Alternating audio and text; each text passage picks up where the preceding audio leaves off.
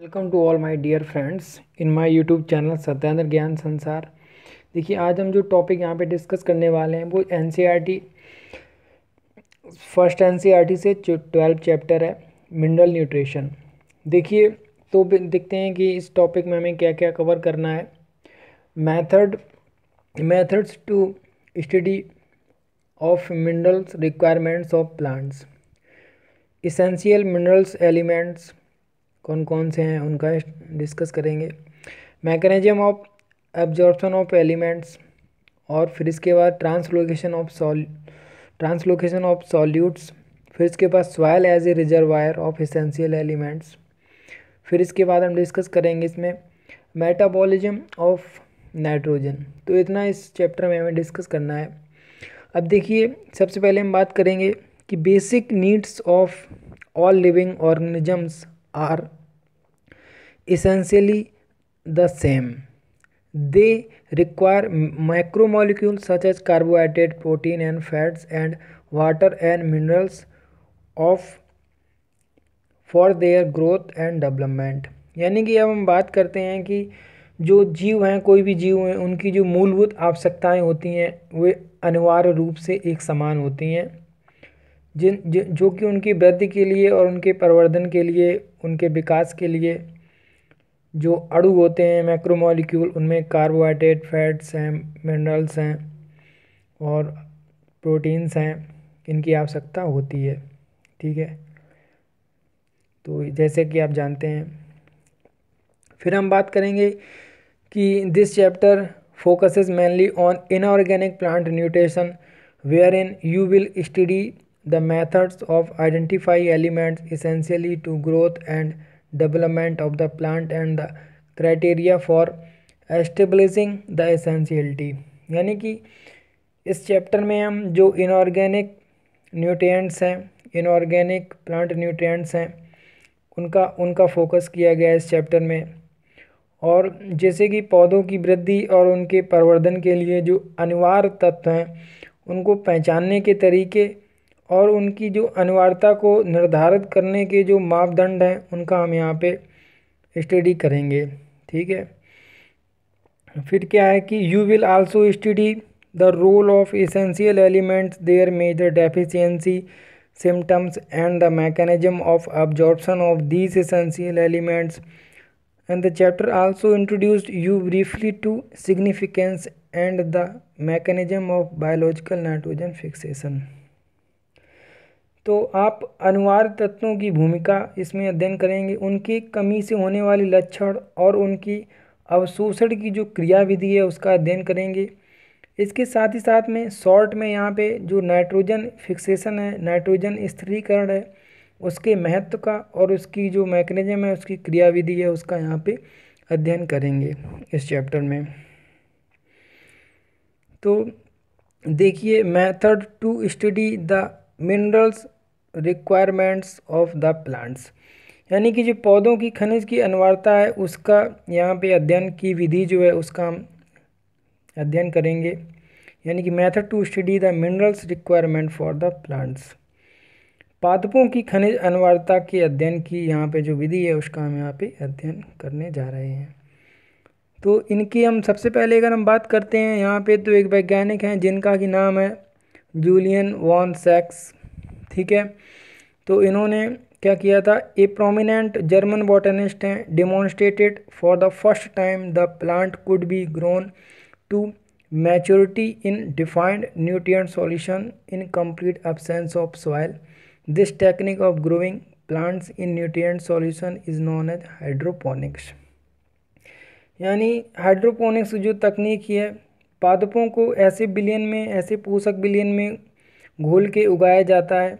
तो यह तकनीक जो है हाइड्रोपोनिक्स कहलाती है, जल संवर्धन तकनीक कहलाती है। सबसे पहले जो वैज्ञानिक थे, जर्मन पादपविद थे, जिनका नाम है जूलियन सैक्स 1880 में इन्होंने सर्वप्रथम यह प्रदर्शित किया था कि पौधों को मृदा की अनुपस्थिति में, पौधों को मृदा की अनुपस्थिति में, उनके पोषक बिलियन के घोल में वयस्क अवस्था तक उगाया जा सकता है। तो जब पादपों को मृदा के अनुपस्थित में, घोल में, बिलियन के, पोषक बिलियन के घोल में इनको हम उगाते हैं तो पादपों को पोषक बिलियन के घोल में उगाने की यह तकनीक जो होती है the technique of growing plant in the nutrient solution पोषक बिलियन के घोल में पादपों को उगाने की जो ये तकनीक होती है, इसको हम हाइड्रोपोनिक्स बोलते हैं। कंप्लीट ऑप्शन ऑफ़ सॉइल यहाँ पे सॉइल नहीं होती है, जबकि यहाँ पे पोषक बिलियन होता है।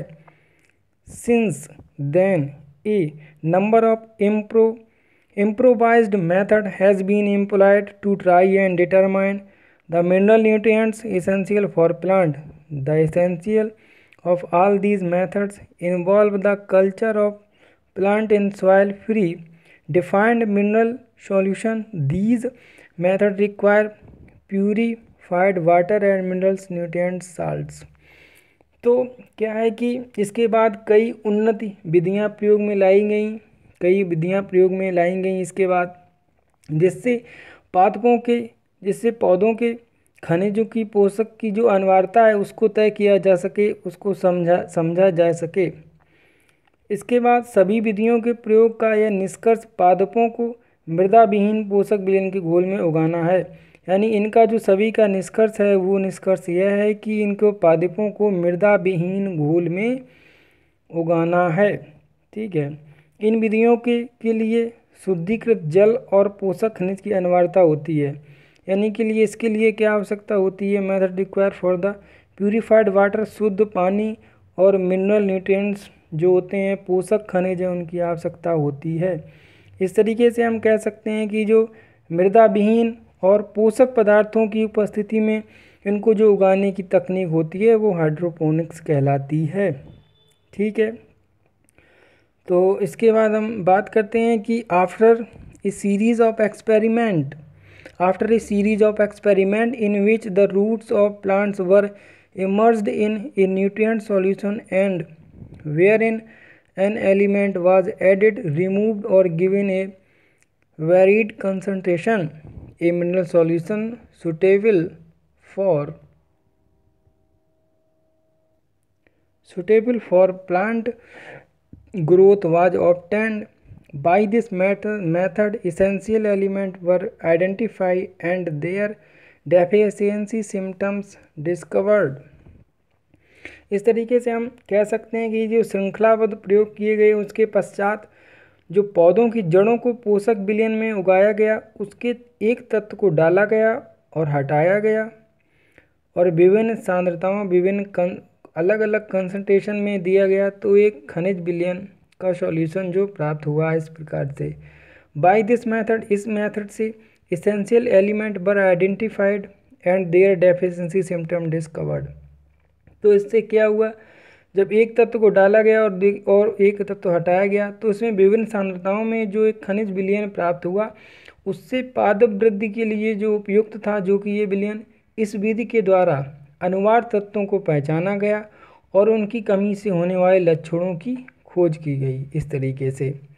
इस तरीके से by this method the essential animal one essential elements were identified and their defici symptom discovered इस तरीके से hydroponics has been successfully successfully employed as a technique for the techniques for the commercially production of vegetables such as tomato seedless cucumber and lettuce it is a must be emphasized that nutrient solution must be must be adequately aerated to obtain the optimum growth इस तरीके से जो यहाँ पे टमाटर है और जो सीडलेस कुकुम्बर है और लेट्यूस की यहाँ व्यापारिक उत्पादन के हेतु यह तकनीक उपयोग में लाई गई। जल संवर्धन की जो तकनीक थी, यहाँ से हम कह सकते हैं कि हाइड्रोफोनिक्स सक्सेसफुली इन चीज़ों को उगाया गया।